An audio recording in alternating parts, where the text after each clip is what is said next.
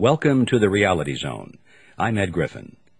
The program we are about to hear is taken from a recording of a presentation I made shortly after the publication of my book, The Creature from Jekyll Island, a second look at the Federal Reserve. And so here it is, as recorded live in Los Angeles, California, on November 18, 1994. My presentation on the Federal Reserve, The Creature from Jekyll Island.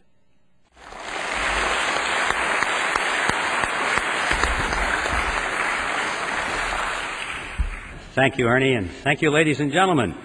Although, Ernie, I have to tell you, I think I like the short introduction better. I guess there was a lot of traffic out there tonight, so we're getting started quite late.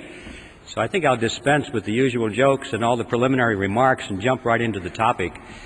And to try and give it some kind of historical perspective, I'd like to go back to the first century BC, to a tiny kingdom called Phrygia. It was in Phrygia that there was a philosopher by the name of Epictetus. And it was Epictetus who said, Appearances are of four kinds. Things either are as they appear to be, or they neither are nor appear to be, or they are but do not appear to be, or they are not and yet appear to be. There'll be a quiz on this. When I read that statement, I was sure that if Epictetus were alive today, he probably would be a Harvard professor of banking and economics. Because doesn't that sound like the kind of explanations that we get when you read through the Federal Reserve bulletins trying to tell you what the money aggregates are and that kind of thing? See, what Epictetus did was he took a relatively simple concept, but by the time he was through explaining it, we didn't have any idea what he was talking about. And this is so commonly done today by the experts. Nevertheless, I thought that his statement was pretty good because it provided us with a track to run on, kind of a theme for this presentation. Because you know, if there's anything in the world that is an appearance which is deceiving, it is the Federal Reserve System. In fact, it is one of those appearances of the fourth kind, which I'm sure you all remember, for those appearances which are not and yet appear to be. So I'd like to use that as my theme for this topic and come back to it now and then during the progress of this presentation, if I remember to do that, and use it as a punctuation point here and there, and as a reminder of one of the most important aspects about the Federal Reserve System that there is to comprehend, and that is that there are a lot of deceptive appearances going on here. I think the best place to begin our story is with the creation of the Federal Reserve System itself. In fact, that takes us right to the reason for the title of the book, The Creature from Jekyll Island. For those of you who are not yet familiar with the background of this story, you should know that Jekyll Island is a real island. It's off the coast of Georgia, and it was on that island in 1910 that the Federal Reserve System was conceived at a highly secret meeting that took place there. When things are done in secret, there's usually something to hide. And so I'd like to tell you that story and document it so that we can find out, first of all, that there was a meeting, that the Federal Reserve was indeed created there, that indeed there was a great deal of secrecy, and then we'll ask the question, why the secrecy? In 1910, Jekyll Island was completely owned by a small group of millionaires from New York. People such as J.P. Morgan, William Rockefeller, and their associates. This is where their families came to spend the winter months. It was a, a resort island. It was called the Jekyll Island Club. And on the island there was a magnificent clubhouse, which was the center of their social activities. You can visit that clubhouse today, as a matter of fact. The island has since been purchased by the state of Georgia, and the clubhouse has been fully restored. It's a beautiful thing. And if you take the tour, you can walk down the corridor there, and there will be a room, and on the door to that room is a brass plaque, and it says, The Federal Reserve System was created in this room. So there's no secret about this part of it. It's a matter of public record. So this is how that story came to pass. It was November of that year, 1910, when Senator Nelson Aldrich sent his private railroad car to the New Jersey Railroad Station late in the evening. And there it was in readiness for the arrival of himself and six other men who were told to come under conditions of extreme secrecy. For example, they were told to come one at a time, not to dine with each other on the night of their departure. They were told to avoid arriving at the same time if they could. If they should happen to show up at the same time, they were instructed to pretend not to even know each other. They had to avoid newspaper reporters because they were well known people, and newspaper reporters often frequented the railroad station.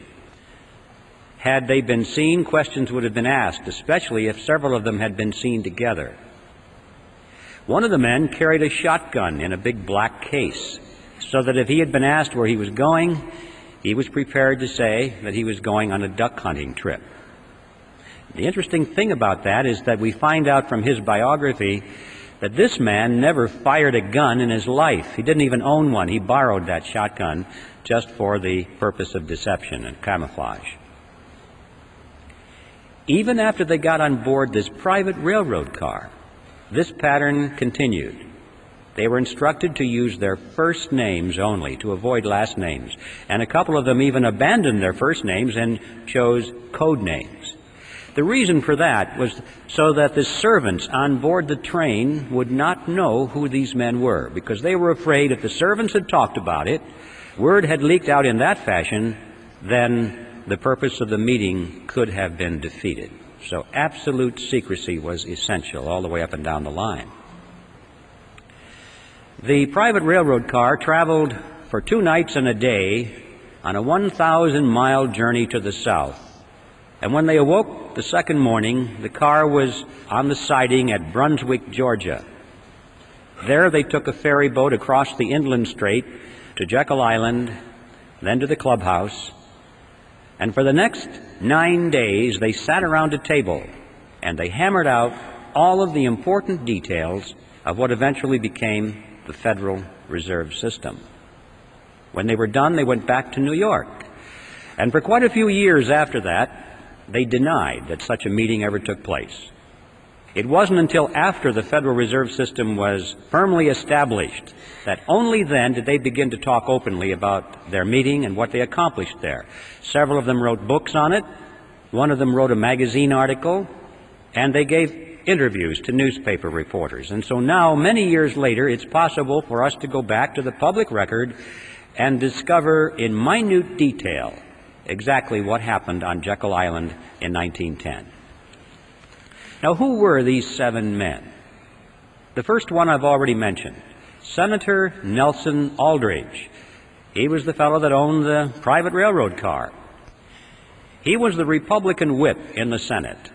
He was chairman of the National Monetary Commission, which was that special committee of Congress created to make a recommendation for legislative reform Banking reform, they called it. They wanted to reform banking in America because the American people were very concerned over the concentration of financial power into the hands of a small group of banks and investment firms in New York on Wall Street. That is what they called the money trust. That was a popular phrase. In fact, quite a few politicians had been successfully elected to office on their campaign promise to break the grip of the money trust. And that was one of the primary purposes of the National Monetary Commission, of which Senator Aldrich was chairman. He was also a business associate of J.P. Morgan.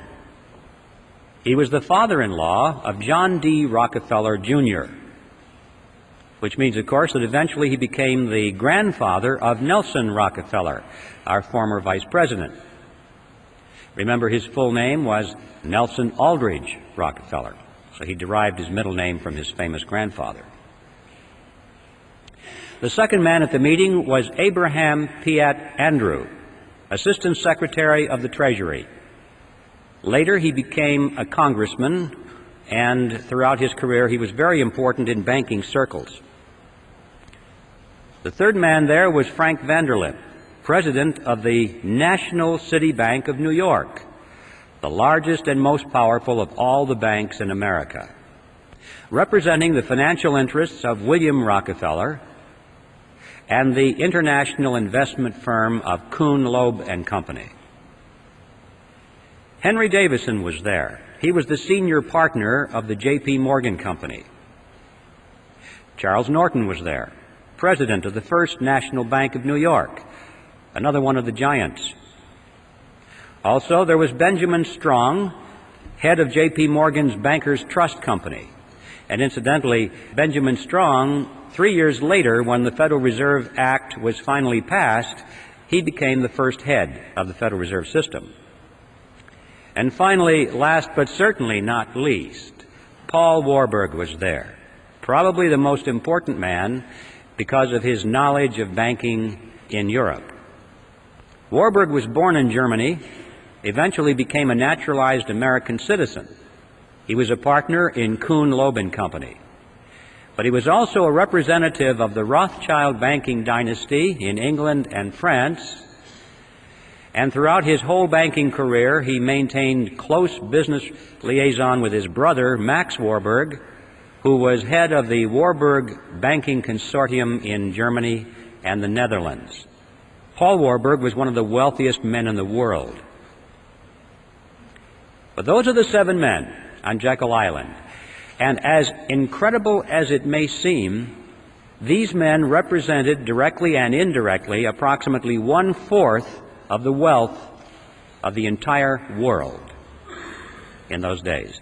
And these are the men who sat around a table on Jekyll Island and created the Federal Reserve System. Does it arouse your curiosity? What's going on here? Now, for the skeptics who are here tonight, and I hope there are plenty, because if there aren't, I feel like the minister talking to the choir. I know there are always plenty of skeptics in my audiences, and that makes me feel very good. For the skeptics, you're probably wondering did it really happen that way? Surely Griffin is exaggerating to make a point. Well, yes, it really happened that way, and I'd like to illustrate that by quoting for you just one piece of evidence here. This was taken from an article that was written by Frank Vanderlip himself that appeared in the Saturday Evening Post on February 9, 1935. Remember, Vanderlip was one of those at the meeting. And this is what he said. I do not feel it is any exaggeration to speak of our secret expedition to Jekyll Island as the occasion of the actual conception of what eventually became the Federal Reserve System. We were told to leave our last names behind us. We were told further that we should avoid dining together on the night of our departure. We were instructed to come one at a time and as unobtrusively as possible to the railroad terminal on the New Jersey littoral of the Hudson where Senator Aldrich's private car would be in readiness attached to the rear end of a train to the south. Once aboard the private car, we began to observe the taboo that had been fixed on last names.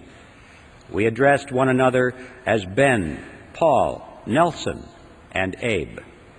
Davison and I adopted even deeper disguises, abandoning our first names, on the theory that we were always right he became Wilbur and I became Orville after those two aviation pioneers, the Wright brothers.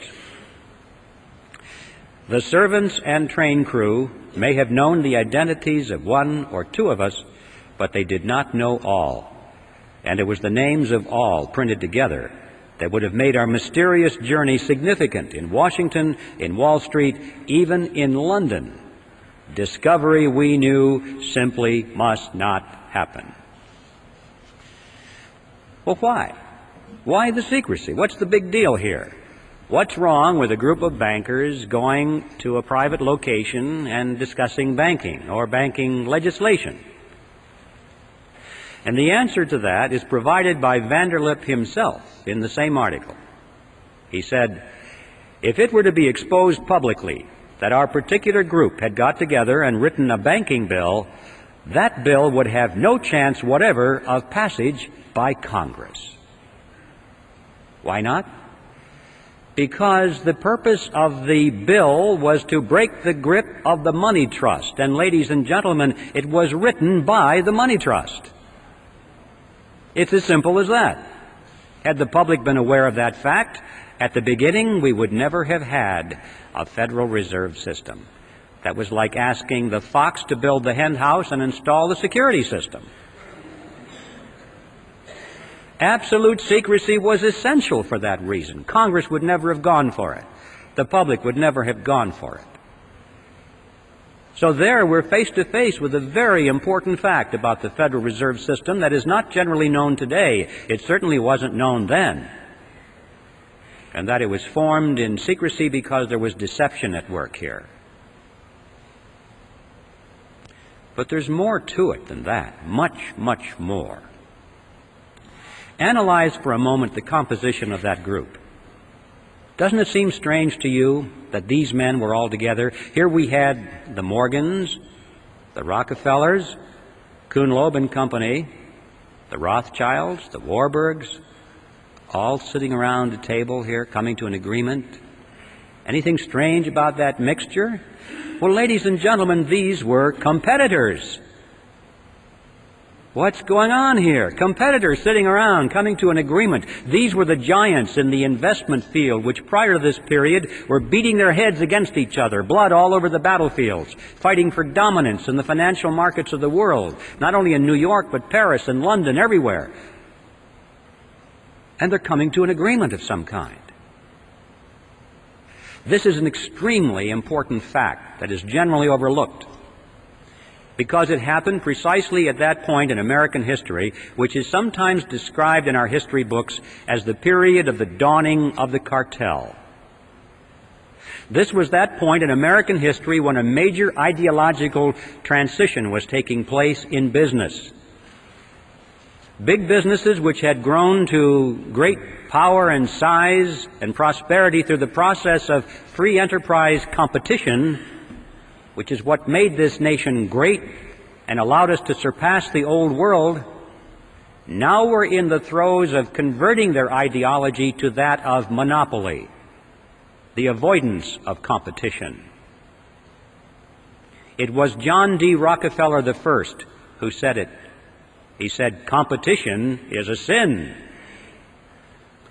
And it became the destiny of these people to avoid competition now at all costs. Their life effort was to eliminate their competition if they could. If that was impossible, then to buy them out. If that was impossible, then to join with them in a shared monopoly, which is called a cartel. And this was the period of history when that transition was taking place very rapidly in all industries. For the 15 year period prior to the meeting on Jekyll Island, these financial groups of which we are speaking had increasingly come together in joint ventures rather than compete with each other. They found that it worked. They liked it. And the meeting on Jekyll Island was the culmination of that process. And now we come to the second astounding realization about the Federal Reserve System is that it is not a government operation at all. It is, in fact, a cartel.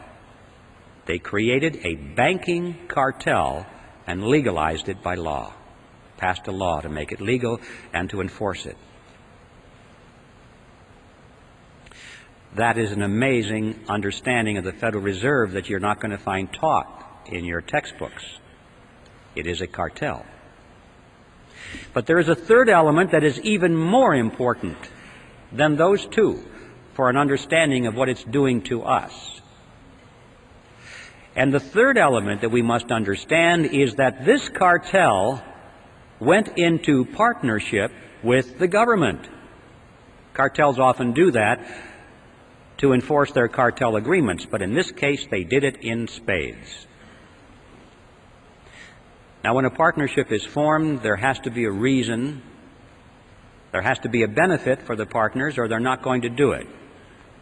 So it's a legitimate area of inquiry for us to know and to ask, what's the payoff to these partners? Why did they do that? Why is the government in it? What does it get out of it? And then we'll ask and find out why the cartel is in it. and what it gets out of it. In order to see how that functions, we must examine now the mechanism by which the Federal Reserve System creates money. How does money come into being in our country? I call it the Mandrake mechanism, named after that comic book character of the 40s, Mandrake the magician. Before I go into this, I need to warn you folks about one thing. Don't try and make sense out of this, because it doesn't make sense. It's not supposed to make sense. Just remember that this is your good old fashioned scam, and you'll be able to understand it pretty well. Furthermore, I want to tell you that I'm going to make this sound very simple because I'm stripping out of it all of the banker language and all of the accounting terminology, and I'll speak it as best I can in plain old English. But I can assure you, even though it may sound like it's ridiculously simple, can assure you that every part of this is 100% accurate from a technical point of view. So this is how it works. It starts with the government side of the partnership. It starts, in fact, in Congress. Congress needs money, a lot of money, far more than its income. Taxes only make up a small percentage of what Congress spends. Well, how can they spend more than they take in in revenue? Here's how it works. Congress, let's say, needs a billion dollars for today's expenditures. So they go down to the Treasury and they ask for the money. And the Treasury official says, You guys have got to be kidding. We don't have any money here. You spent it all back in February or March. Everything we took in in taxes is gone. Not to worry, they say. Together, they walk further down the street to the Federal Reserve Building. Now, the Fed has been waiting for them because that's one of the reasons it was created. They walk in, and the officer at the Federal Reserve opens up his desk drawer, pulls out a big checkbook, and he writes a check to the United States Treasury for one billion dollars and signs it and gives it to the Treasury official. Now, we need to ask a question at this juncture. Who put that billion dollars into the checking account at the Federal Reserve so that they could lend it or give it to the government? Where did that money come from? And the amazing answer is there is no money. In fact, technically, there isn't even a checking account. There's just a checkbook.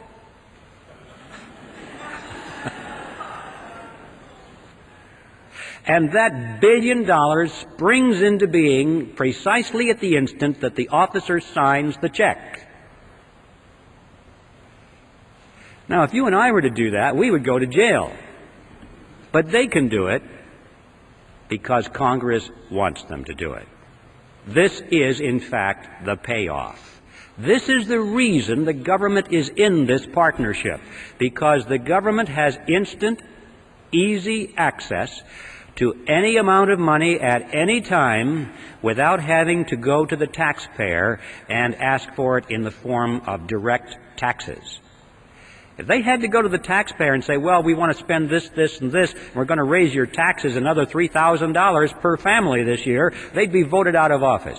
Not a popular thing to do. They like the mandrake mechanism. But that's why the government is in it.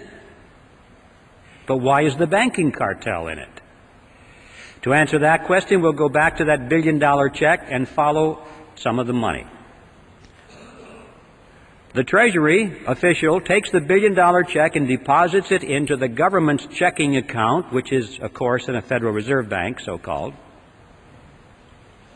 And at that instant, the computers show that the government made a billion dollar deposit, therefore it has a billion dollars in its account, therefore it can now write up to a billion dollars in government checks, which it starts to do. We'll follow just a $100 check that it writes to the postal worker that delivers our mail. He takes it now and puts it into his checking account in his personal commercial bank down the street. Now the money is finally out of the Federal Reserve Bank, so called, out of the government side of this partnership, and it's finally into the banking side, commercial bank. $100 has been deposited, so the banker goes over to the loan window and opens it up, and he says, Attention, everybody, we have money to loan. Somebody just deposited $100. We have money to loan. And this makes everyone joyous because that's one of the reasons they go to the bank is to borrow money. It's nice to know there's money to loan. So they line up for the money. But they're a little concerned because it was only $100, but the banker says, don't worry, we can loan you up to $900 on that. How is that possible? How can the banks loan $900 when there's only $100 in deposit? Well, it works like this. The Federal Reserve System says that the banks must keep no less than 10% of their deposits in reserve. The bottom line is that the $100 that was deposited there is 10% of $1,000. Therefore, the bank can loan up to $900, which is the difference. Now, where did that money come from? The answer is the same. There was no money. That springs into being at precisely the point at which the loan is made. Now, let's analyze it. An important difference here between these two functions. The money that was created out of nothing and given to the government was spent by the government for its projects. On the other hand, the money that was created out of nothing for the banks, they didn't spend that for their projects. They loaned it to us for our projects. But they collect interest on that loan. So the bottom line is that they collect interest on nothing, which is not too shabby. This is why the banking cartel is in the partnership, because all of this becomes legal. Interest on nothing. What are the consequences of this? This money that is created out of nothing goes out into the economy, and these new dollars dilute the value of the old dollars that were already out there. It's like pouring water into the pot of soup. It dilutes the soup. When you pour all these new dollars into the economic pot, it dilutes the dollars that are there, and so prices start going up and up and up, and we have this phenomenon of inflation, which is the appearance of rising prices. I emphasize the word appearance because in reality prices do not rise. What's really happening is that the value of the dollar is going down.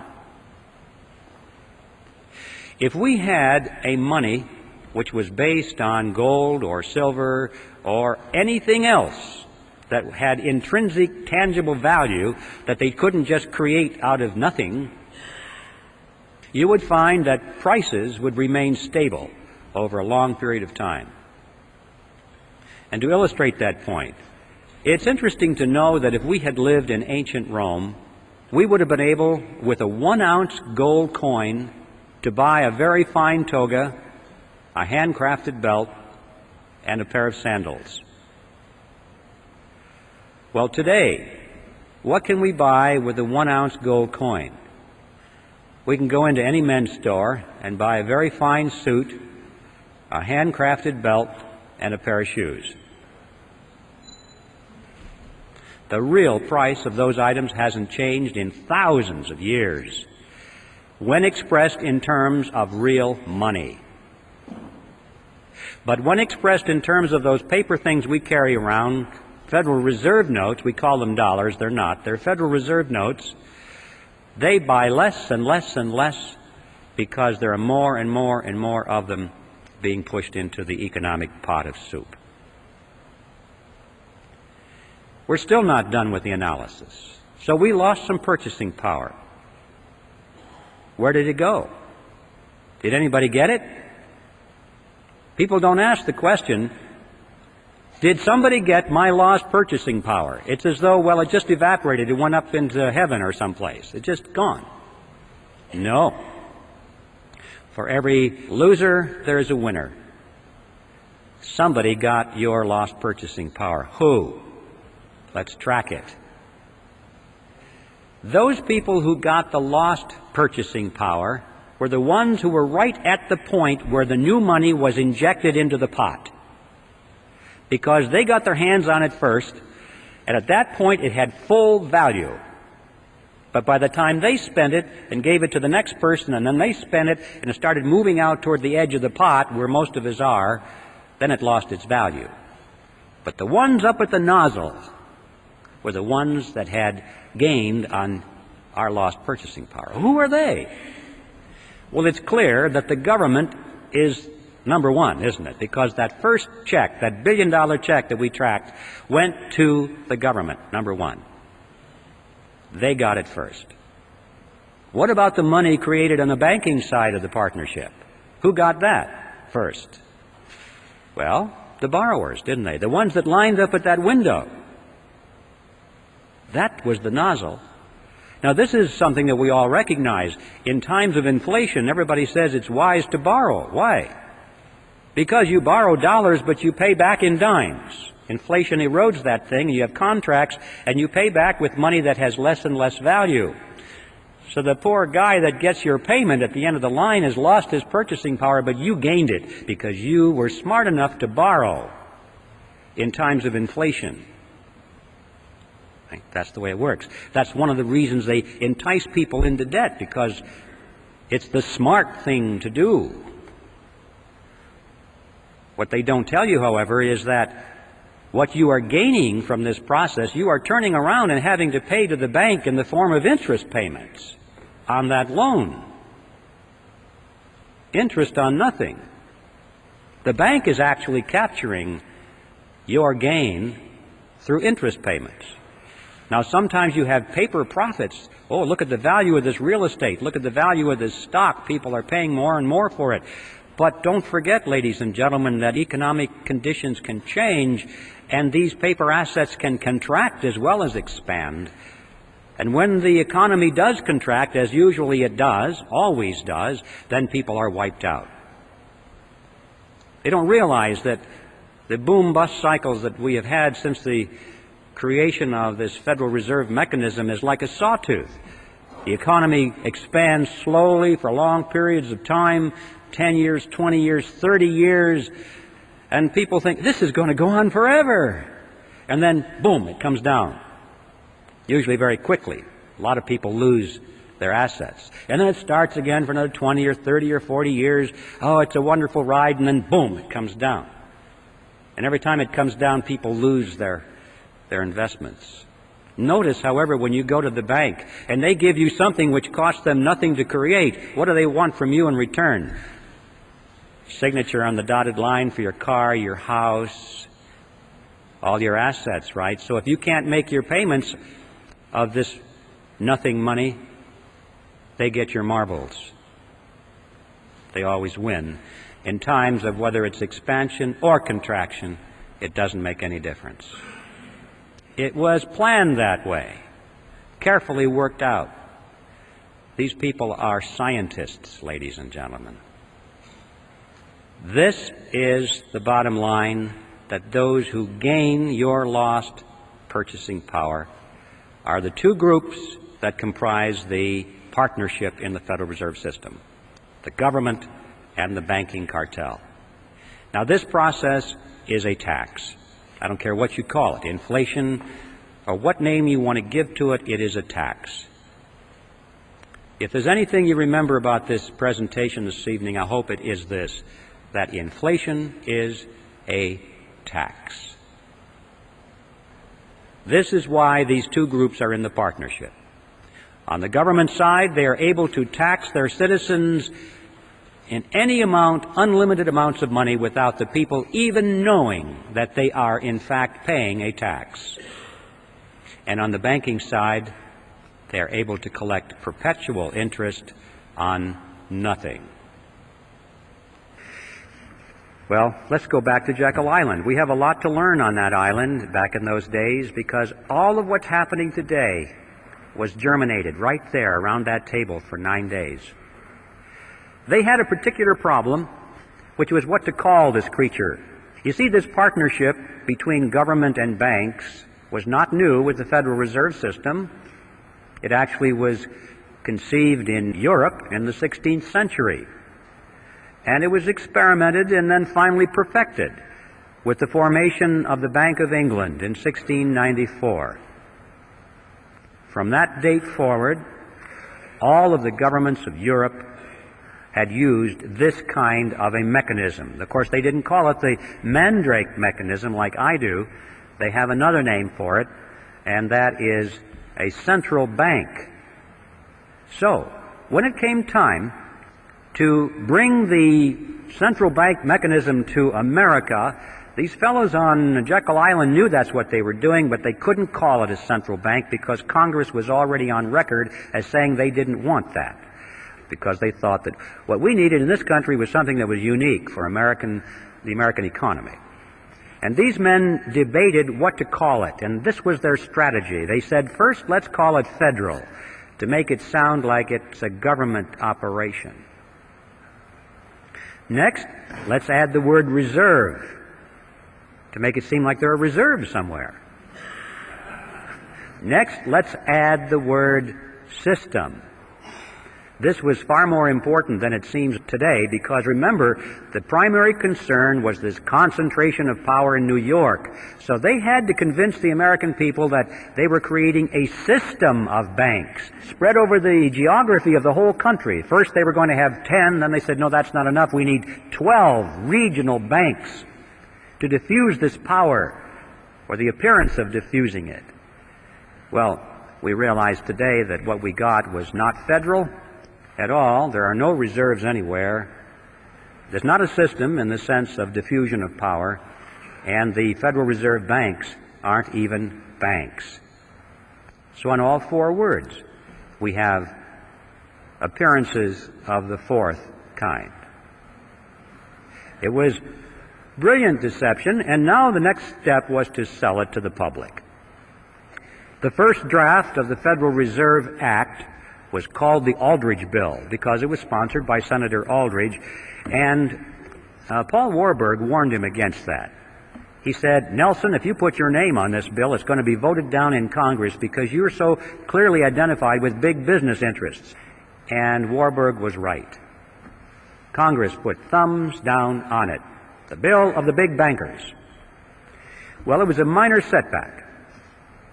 They took their bill, they scrambled the paragraphs around a little bit, took Aldrich's name off of it, and found a couple of Democrats to sponsor the bill.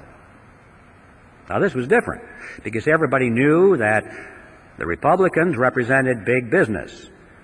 But they also knew that the Democrats, on the other hand, represented the common man. You know, the working man, the fellow on the assembly line. Like Ted Kennedy.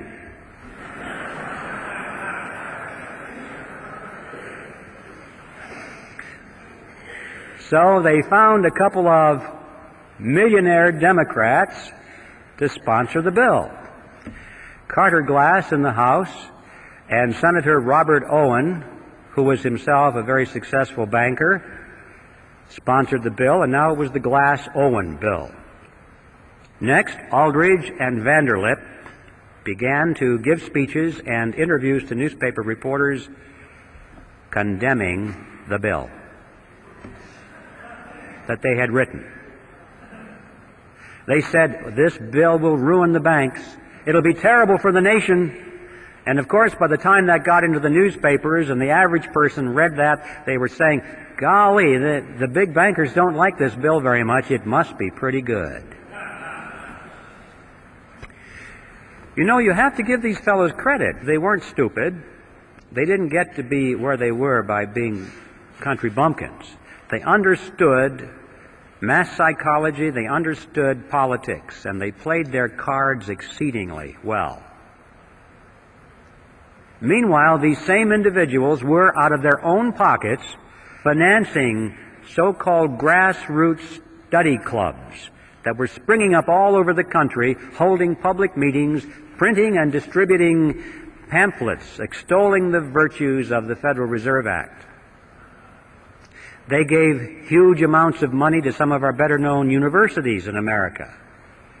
established new departments of economics, handpicked their own people to be the professors to chair those departments. And then those professors began to give speeches and write scholarly essays about how wonderful the Federal Reserve System was. And then, at the insistence of Paul Warburg, they added a few excellent provisions to the bill. Provisions which seriously restricted the ability of the Federal Reserve System to create money out of nothing. And Warburg's associates said to him, Paul, what are you doing? We don't want that in our bill. And his reply was classic. He said, Relax, fellas, don't you get it? Our object is to get the bill passed. We can fix it up later. It was because of those provisions that they won over the support at long last of William Jennings Bryan, who was the head of the populist movement. He had opposed this bill from the beginning. But when he saw those excellent provisions in there, he said, Oh, well, I guess now I can support this bill. And with his collapse of opposition, the road was now clear. And everybody was for, almost everyone, except a few lone voices, was for the Federal Reserve. And indeed, they did fix it up later. Since the Federal Reserve Bill was passed, it has been amended over a hundred times. And every one of those excellent provisions were long ago removed, and many more have been added, which greatly expanded the power and reach of the Federal Reserve System. And so, with this professional, brilliant strategy and deception, it is no surprise that eventually the public and Congress was solidly for the Federal Reserve System and the bill was passed on December 22, 1913, and the creature from Jekyll Island finally moved in to Washington, D.C. I'd like to focus for a moment on what are the objectives of the Federal Reserve System because, you know, we're told that the purpose of the Fed is to stabilize the economy and to put an end to chaotic banking. One of the more popular textbooks used in our colleges and junior colleges today is a textbook on economics written by Paul Samuelson. And here's what he says. He says the Federal Reserve sprang from the panic of 1907 with its alarming epidemic of bank failures. The country was fed up once and for all with the anarchy of unstable private banking. Well, that's what he said. And that's what the students are learning. Let's not challenge that for the moment. Let's just take it at face value because this is the official doctrine, isn't it? The Purpose of the Fed is to stabilize the economy and to protect the people. That's why they're raising our interest rates right now. That's what Greenspan says. Why is he doing this? To help people. Right? To stabilize the economy so we won't have massive inflation. It's for you folks that he's doing this. See? That's what he says. And if you're trying to figure it out on the basis of these official pronouncements, you'll never get it. Let's just take this official pronouncement at face value for a moment and see how well it's doing. Let's give it a report card. Since the Federal Reserve was created, it has presided over the crashes of 1921 and 1929 the Great Depression of 29 through 39, recessions in the years 53, 57, 69, 75, and 81, a stock market Black Monday in 87. We all know that corporate debt is soaring, personal debt is greater than ever. Both business and personal bankruptcies are at an all time high. Banks and savings and loan associations have failed in larger numbers than ever before Interest on the national debt is consuming half of our tax dollars. Heavy industry has all been but replaced by overseas competitors. We're facing an international trade deficit for the first time in our history. 75% of downtown Los Angeles and other metropolitan areas is now owned by foreigners, and over half of the nation now officially is in a state of recession.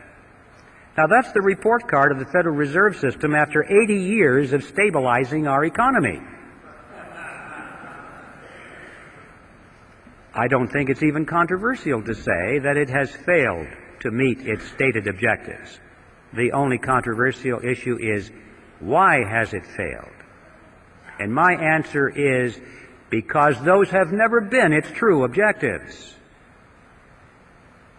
What are its true objectives? Well, what are the objectives of any cartel? To enhance the profit margins of the members of the cartel and to stabilize their position in the market.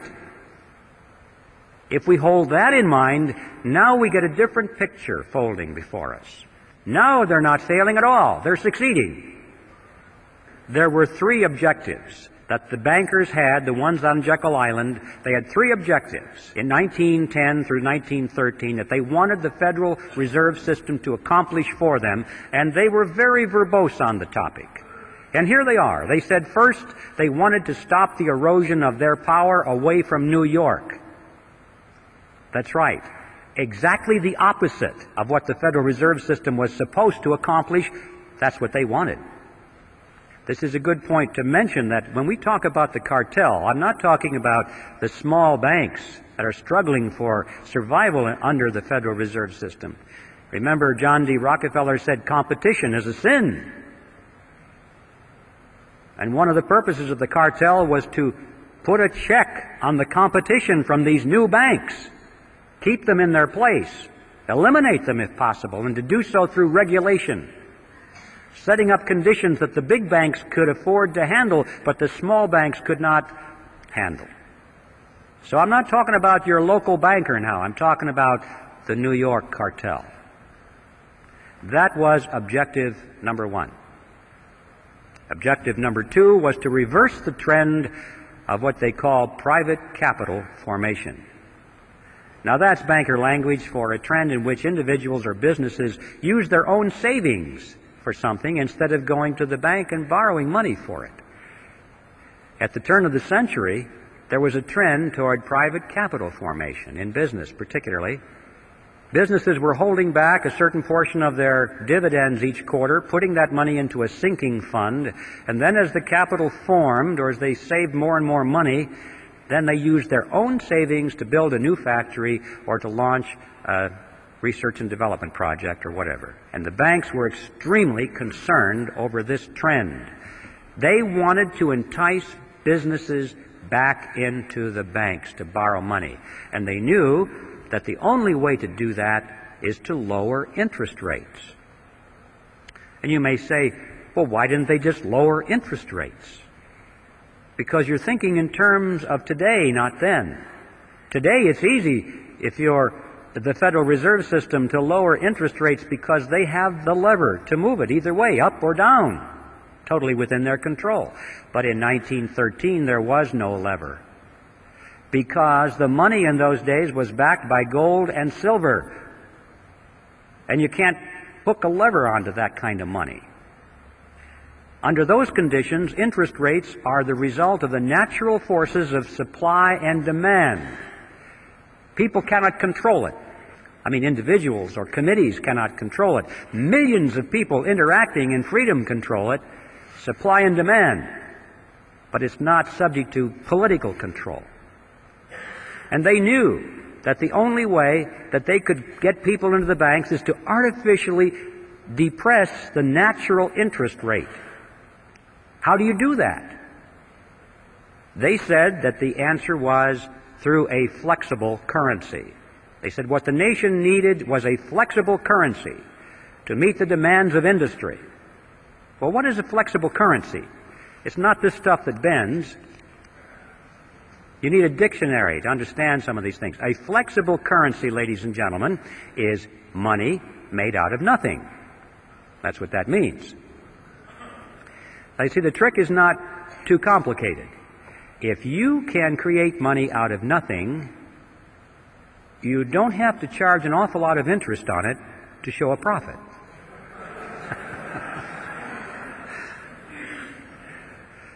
so, with a flexible currency, they could lower the interest rates below the natural level, still make plenty of profit on it, and entice the businessmen back into the banks. So the goal was a flexible currency. That was objective number two. And objective number three was to pass on the inevitable losses of the banks, pass them on to the taxpayers in the name of protecting the people. Now, those are the true objectives of the Federal Reserve. Let's now issue another report card and see how well it did. Did it keep control with the larger banks in New York? And the answer is yes. We have big banks in the West and in the South, but they are nothing compared to these mega banks in New York, which stride the world with offices in Peking and Moscow and Africa everywhere. The big banks continue to dominate. It gets an A on its report card for retaining control in New York. What about reversing the trend toward private capital formation? Boy, did it ever. Interest rates have been pushed down over periods of time. They're so attractive that individuals and corporations thought they were crazy not to take advantage of those low interest rates. Why save your money? That's stupid. So they were all enticed into the banks because of a flexible currency. And then, of course, they get loaned up to the eyebrows and something happens in the economy and you can't service your debt anymore, you go bankrupt. Right now, there are many corporations just and individuals just hanging in there by the skin of their teeth because they're trying to service their debt. And it's an amazing fact that many of these large corporations are now sending more money every quarter to the banks as interest payments than they send to the stockholders as dividends. Just think about that. The banks who made the money out of nothing are making more money out of large segments of our industry than the people who work for their money, save their money, invested their money, risked their money to purchase ownership shares in those corporations. And the Federal Reserve System gets an A on its report card because indeed, with flexible currency, it reversed the trend toward private capital formation. Were they able to pass along their losses to the taxpayer in the name of protecting the people? Maybe you missed that part of it, but it's called bailout. The game called bailout. It is played something like this. Whenever one of the large banks gets into trouble because someone it has loaned money to, either a big corporation or a third world country, can no longer pay its debt. So the bank is in trouble. It goes to Congress and it carefully explains to Congress that it must bail out that corporation or that third world country because otherwise it's going to hurt the people of America. If that venerable corporation is allowed to fold, look at how many thousands of jobs will be lost. People will be put on welfare. They'll be out of work, and that'll hurt the people. If that country down in South America cannot pay its loan, Uncle Sam better pay it for him because otherwise the venerable bank in New York will have to write the loan off of its books, and then technically it'll be bankrupt. It may have to close its doors. It would collapse. And look at the thousands of people who have money in that bank who would be hurt by that. And who knows, that bank is such a big bank, if it fell, it might be the first domino, causing all the other banks to fall. And we could have a major recession or depression on our hands. And look how the people of America would suffer. And so Congress dutifully runs to the front and says, yes, yes, we don't want any of that to happen. And they vote the funds to guarantee the loans, or in some cases to make outright payments to keep that river of interest payments going to the banks. Not the small banks, the big banks. Here are some of the games you may have missed. Penn Central Railroad was bailed out in 1970. Lockheed Corporation also in 1970, Commonwealth Bank of Detroit in 1972, New York City in 1975, Chrysler Corporation in 1978, First Pennsylvania Bank in 1980, Continental Illinois, the largest of the banks so far, in 1982, and all of those countries in the third world who can no longer make their interest payments are now making their payments because they got the money from the International Monetary Fund and the World Bank, which got it from the Federal Reserve System, which got it from you and me through the Mandrake mechanism. And my final topic before I reach the conclusion is one that I think you'll find interesting, and that is usury. In the old days, the biblical times, usury was defined as interest on a loan. Any interest on any loan was usury.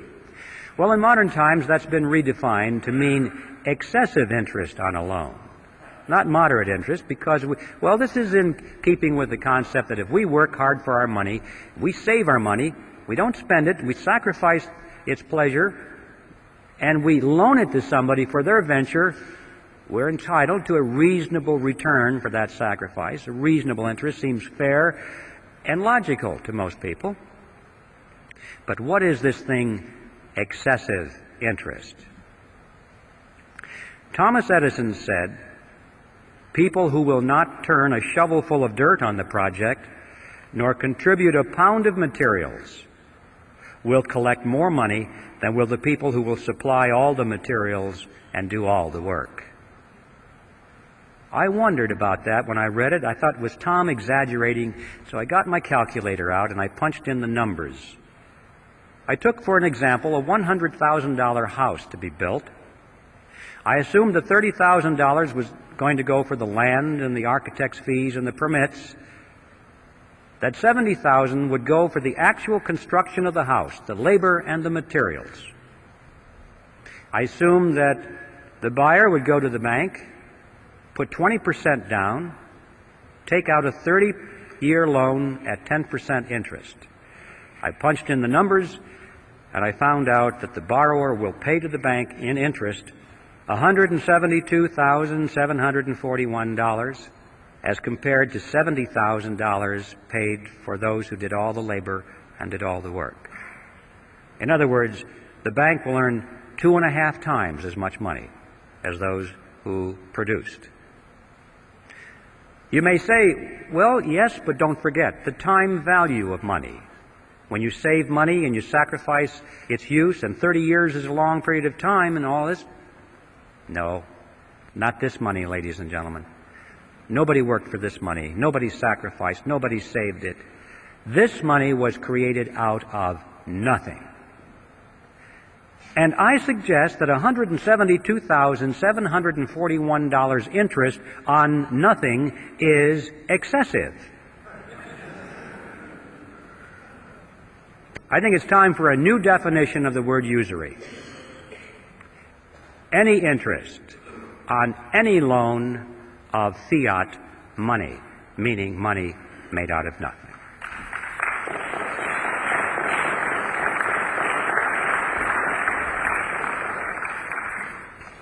Now, this example of a $100,000 house, I should point out to you, is a grain of sand in the Sahara. This is nothing. You have to multiply this process by every house in America, by every hotel in America, every high rise office building in America, every jet airplane, every automobile, every factory, every warehouse full of materials, every farm building, all the farm equipment. And you are talking about a river of unearned wealth perpetually flowing into the banking cartel that is so wide that you can't even think across it in your mind. The numbers are beyond comprehension. Where is this money going? You get the mental picture that maybe it's going into a big lake someplace. There's a big dam and it's building up. All this money is accumulating and these people are getting richer and richer and richer. Wrong. Doesn't work that way. When a person has all the wealth that he can possibly want or use for the pleasures of life, what is left? Power. Yeah. Ladies and gentlemen, they're spending this money, this river of wealth is being used to acquire power over you and me and our children. They are literally buying up the world with it. And I don't mean they're buying up the real estate and the hardware. They're buying up control over the organizations, the institutions through which people live and act and rely on for leadership and opinion. Technically, in sociological terms, this is called a power center. These are the power centers of society, the groups through which people work. And this is where that money has been going, is to acquire control over these groups and institutions by buying up influence and control over the people who run them. And they're spending the money on that. That means that they're buying up politicians, political parties, television networks, cable networks, newspapers, magazines, publishing houses, wire services, motion picture studios, universities, labor unions, church organizations, trade associations, tax exempt foundations, multinational corporations, Boy Scouts, Girl Scouts, you name it. Any group, any institution which exercises influence has been a target for control. And they have a lot of money to spend to acquire that control especially those organizations and individuals which supposedly are in opposition to themselves. This process has been going on not only in our country and in a more or less parallel manner in the other industrialized nations of the world, but, ladies and gentlemen, in the so called third world or underdeveloped nations, it has gone on so much further than you can ever imagine. In fact, it is now complete. These countries have been purchased already with this money. Did you ever wonder what's going on there at the International Monetary Fund and the World Bank? You don't hear much about that. Every once in a while, on the back page of the newspaper, you'll read that Congress authorized another $100 billion to go to the IMF, to be loaned to some little country or given to them, and they explain to us that this is to raise their standard of living. Well, you don't believe that either. That is an appearance of the fourth kind. It's not going to raise their standard of living. If it is, if that's the true purpose, they're not doing a very good job of it, are they? Because you know, if you look at those nations after all of these decades and expenditures of hundreds of billions of dollars, you cannot point to one nation that has had its standard of living raised one iota. In fact, in most cases, it's the other way around. The reason is simple. That's not the purpose of the money. The money does not go to the people. It does not go to the businesses in those countries, which might have a chance of raising the standard of living. It goes to the politicians in those countries, to the governments. And it is used specifically to strengthen their control mechanisms over the people, to build collectivist totalitarian systems. Countries that start off as inefficient dictatorships get all the money from the United Nations and end up as efficient dictatorships. The money is used to strengthen their army and to strengthen their bureaucracies. These people, for the most part, couldn't care less about the standard of living of their subjects, so long as they live well. So long as they have their mansions and their yachts and their jet aircraft and their trips to New York, to the United Nations, and their suites at the Waldorf Astoria. Ideology means nothing to them. Socialism, communism, capitalism, fascism, what does it matter? Where's the money? This is it. And we're now dealing with second and third generation welfare families here.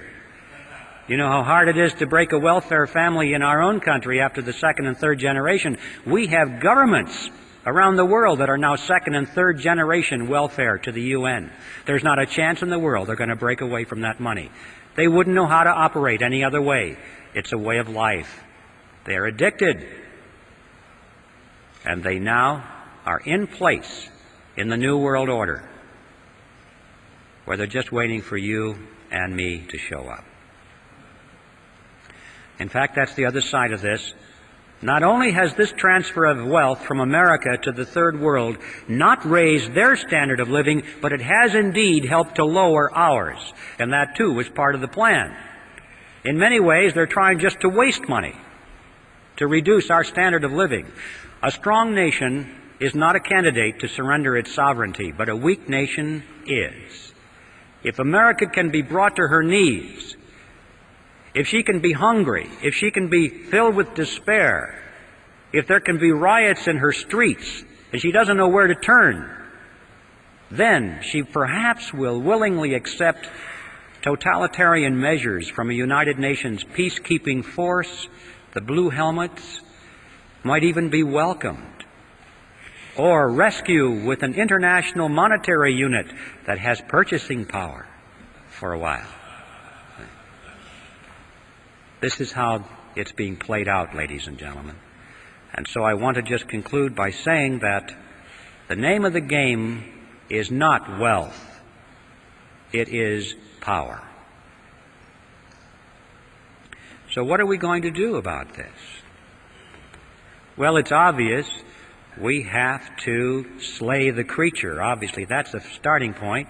We can't allow this creature to continue. It has to be eliminated. But how are you going to do that? We're going to do it in Congress. Congress created the Federal Reserve System, and Congress can abolish the Fed.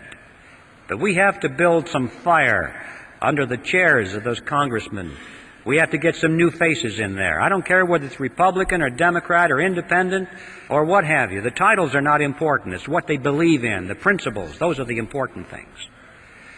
But we do need an informed electorate out there. It's not going to happen unless people know about these issues, and education is our necessity. Sounds kind of boring, doesn't it? Wouldn't it be nice if we could just jump right into politics but people won't know what we're talking about unless they understand the issues. We need an educational army out there, ladies and gentlemen. And it's time to enlist. As Patrick Henry would have said it, in fact, as he did say it, our brethren are already in the field. Why stand we here idle? The bad news, the really bad news, is that time is running out. We used to talk about these things. I remember not too long ago, I would talk about some of these issues, and people would look at me and say, You got to be kidding. That could never happen in America. And now, when I talk about these issues, they lean forward and say, How much time do we have left? It's visible all around us. The New World Order is descending around us. I mean, they're preparing a, uh, a world court of justice, a world taxing authority, a world monetary unit, a world army. As we speak, over half of our standing military right now is serving under foreign officers at the UN, and the process is rapidly moving. So, ladies and gentlemen, time is running out. Whatever you plan to do for your country or for your freedom, do it now.